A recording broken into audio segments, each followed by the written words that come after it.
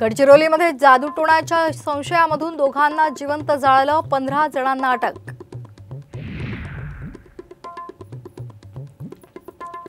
साताऱ्यातील राजकीय वातावरण ढवळून निघणार. आज अजित पवार देवेंद्र फडणवीस आणि शरद पवार यांची तोप धडाडणार.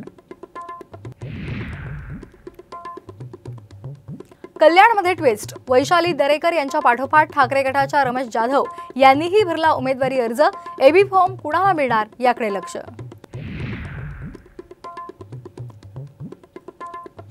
महाविकास आघाडी सरकार पाडण्याआधी अजित पवार यांना कल्पना दिली होती. तानाजी सावंत यांचा मोठा गौप्यस्फोट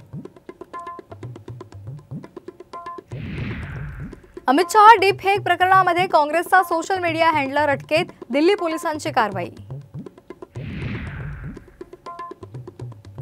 मुंबई आणि परिसरामध्ये आजही उन्हाच्या झळा. हा आठवडाही राहणार कोरडा आणि उष्ण. हवामान खात्याचा इशारा.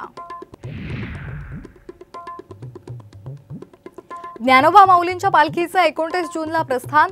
तीस आणि एक तारखेला पुण्यामध्ये मुक्काम.